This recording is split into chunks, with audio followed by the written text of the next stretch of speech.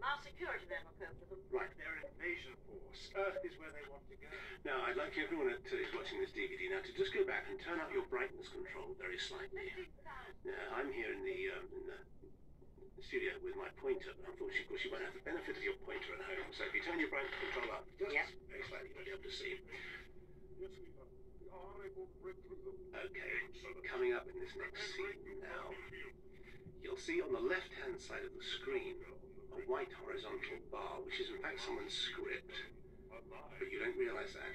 There, on the right-hand side of the screen, that's oh, someone's script. Now she's going to oh, move, she's going to walk behind the staircase where they're walking up, and then she actually appears in shot right there, see, with the Oh, script in her hand. Yep. Oh, On the right-hand side of your screen, she's got the script in the left hand, she's got a little waistcoat on with a white shirt. And she cut away. Now, when she will come back to the shot, she's going to turn over the page. As she goes, turn over the page, she's gone. How about that? Well, you've got- you've got an eagle Eagle eye. eye. I think that's the word. Eagle eye Davison. She's like there. She's in vision. Did JNT go bananas when you uh, he pointed it didn't out? well, he blamed it on her because she was trailing. She was a floor manager who somebody got to trail, and she said it was that bloody woman. I can't remember her name. So.